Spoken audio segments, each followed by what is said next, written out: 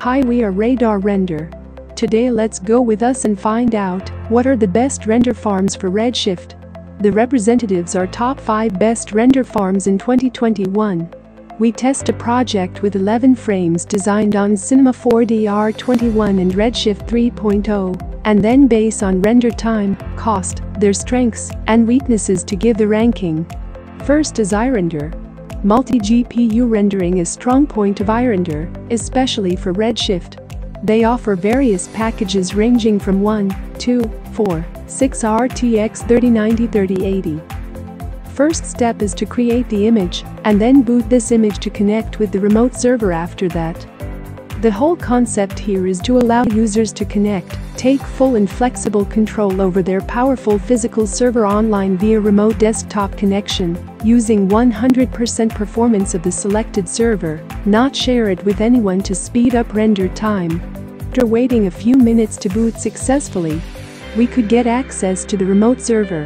And here you can see the remote server is no different than the local computer. Down and uploading files to and from the server is also done quickly and easily via their two-way sync tool named QHubSync. Or we could also use any file transfer method such as Google Drive, Dropbox, WeTransfer, etc. It's up to you.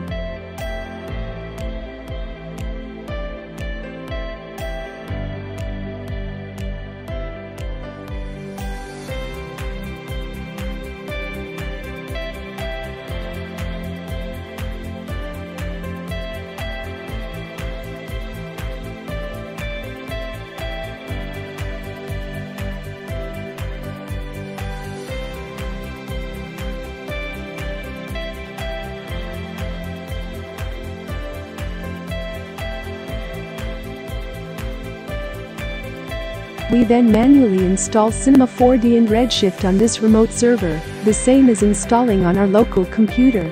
Fortunately, only need to install it one time, then the working environment will be saved for next usage. And as far as we know, Prime customers of iRender could get free Redshift licenses. After finishing installing the software, we start the rendering. As you can see, we could control and manage the rendering process directly and flexibly, checking the GPU performance, customizing the scene files directly. Having this highly customized feature, iRender is suitable for jobs with large size and complex pipelines and tight deadlines. Here in our testing, we first have the intention to test the most powerful server which is 6 RTX 3090, but this server is temporarily full, so we decided to test on server with 4 RTX 3090 instead. But it's not a big deal. Users could flexibly switch between those powerful servers without reinstalling the software or re-uploading the files. Because we only need to install the software one time, so we exclude the installing software time which is 10.27 minutes. So the actual rendering time takes 11.73 minutes and costs only $2.1. This render farm ranks number 1 in becoming the cheapest render farm. 5 times cheaper than Ranch Computing and 4 times cheaper compared to Rebus Farm.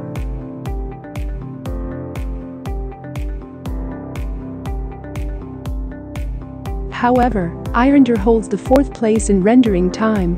That's quite reasonable, because in this test, we use only one node, if we use two or three or more nodes, so that the render time could be down to such as two or three times or more accordingly.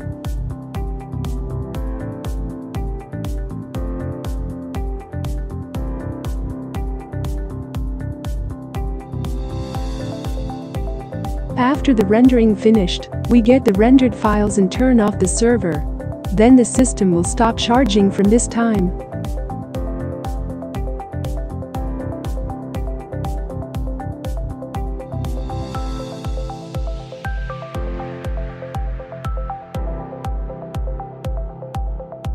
Next is Ranch Computing.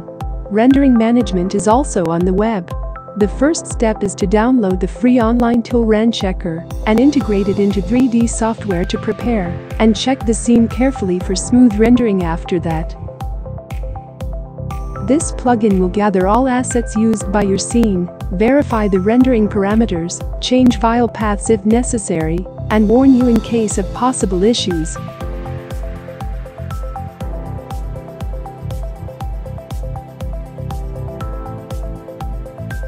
Here in our test we have to rename the file in order to get to the next step.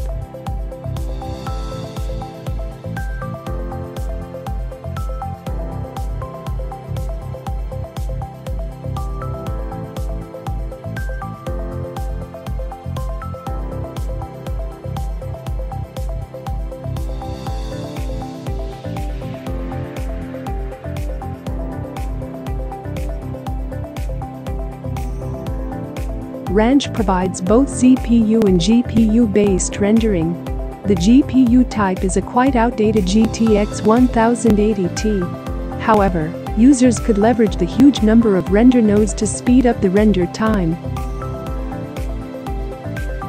After uploading the files, users will need to choose the type of software and rendering engine and then choose the rendering priority.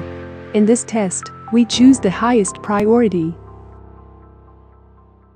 Then the system will validate the files and then automatically submit them to the rendering queue.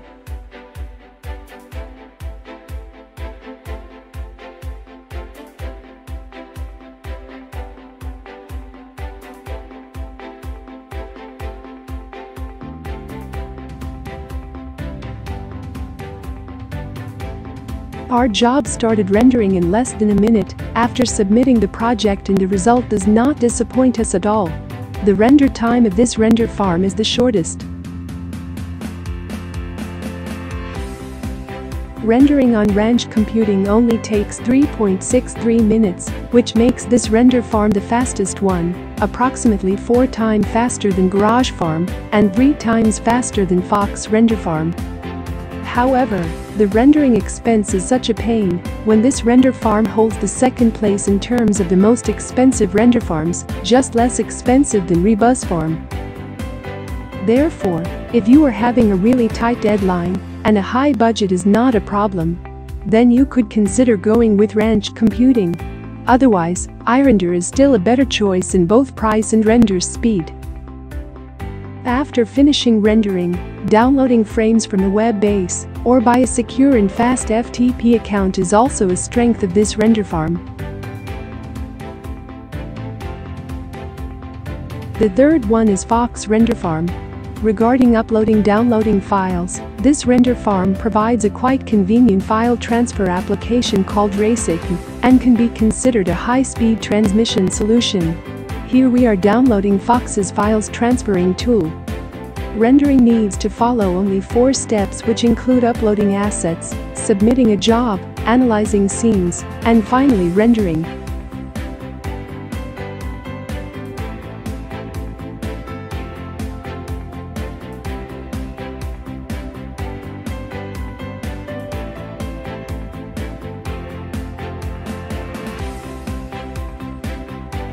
Test, after uploading the file, it appears quickly in a minute on the web management. Then we come to the next step, submitting the file to the farm.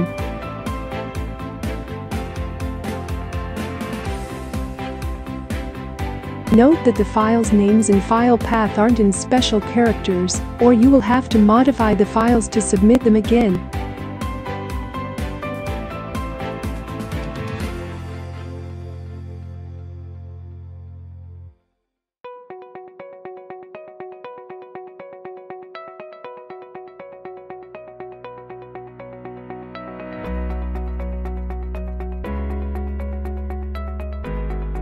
Hardware configuration is a quite strong point of Fox Render Farm. They have various types of GPU cards such as GTX 1080 Ti, RTX 2080 Ti, and the most powerful RTX 3090. Here in our test we choose the most powerful GPU card is RTX 3090, and the default configuration is 2 RTX 3090 while the number of nodes is not being shown, then we choose the right design software and render engines version.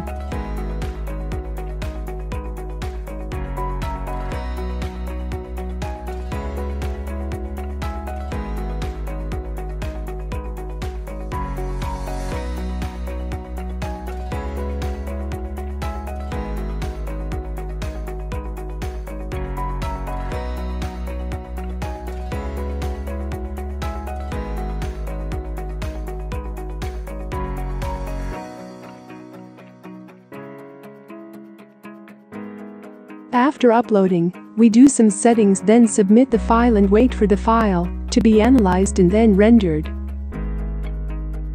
Based on the test result at the end of this part, we could see that the render time is 10 minutes and the cost is $4. This outcome makes Fox rank 3 out of 5 render farms today in both terms of price and render time. So, Fox could be a suitable alternative choice for iRender and Ranch computing. If your project is small, simple, and not required to adjust and customize the scenes,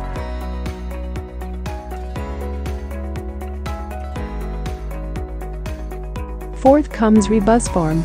This render farm supports major 3D software applications and render plugins.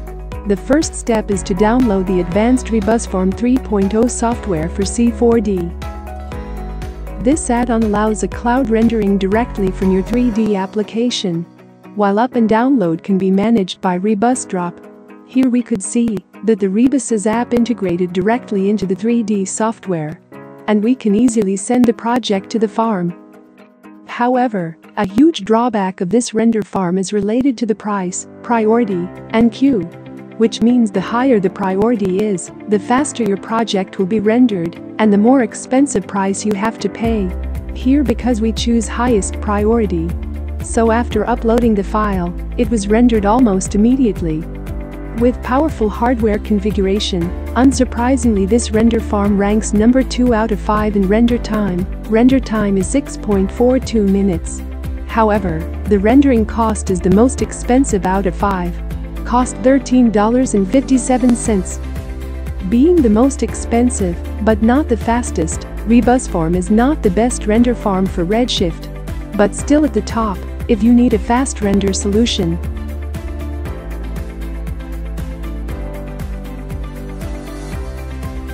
Final is Garage Farm. Rendering management on this farm is web-based. The first step is to download and install Garage's software. However, it takes time to figure out how to use the Garage Farm service ranging from installing the RenderBeamer app and then learning to prepare a job on the interface of the software and integrating the app into the software too. Must add that Garage Farm has quite outdated graphics cards including a Tesla K80 and a Tesla P100 for rendering via GPU. However, users can easily choose the priority plan to get the files rendered faster with more nodes.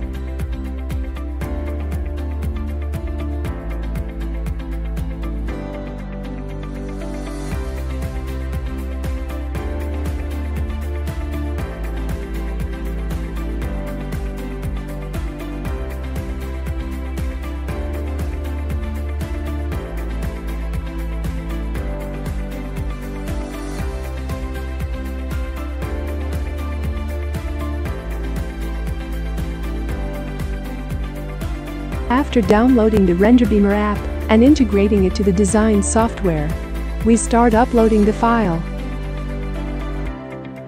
Then we choose the priority and check some other settings, and then submit the job to wait for it to be rendered.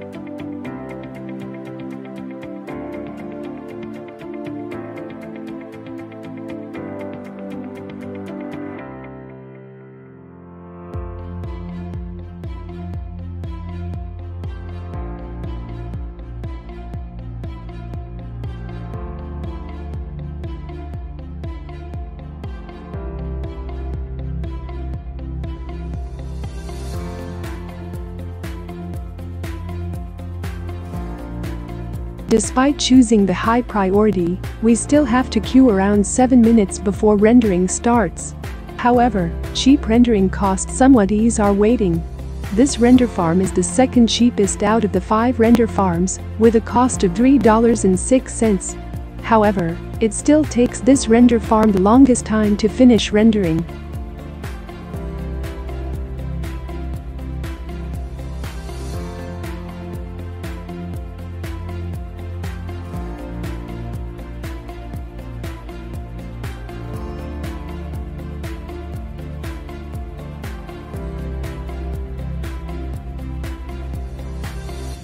In conclusion, the render cost on iRender is the cheapest, 5 times cheaper than Ranch computing. Meanwhile, The render time on Ranch computing is the shortest, three times shorter than iRender. Therefore, if you have a straightforward project and a decent budget, Ranch is suitable for you. On the other hand, iRender should be your choice when your project is larger, complicated or needs much customization or adjustment.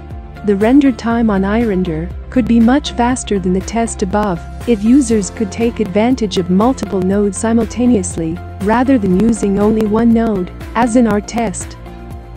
Alright. That's the end of our testing today. Hope you enjoy it. See you in the next video.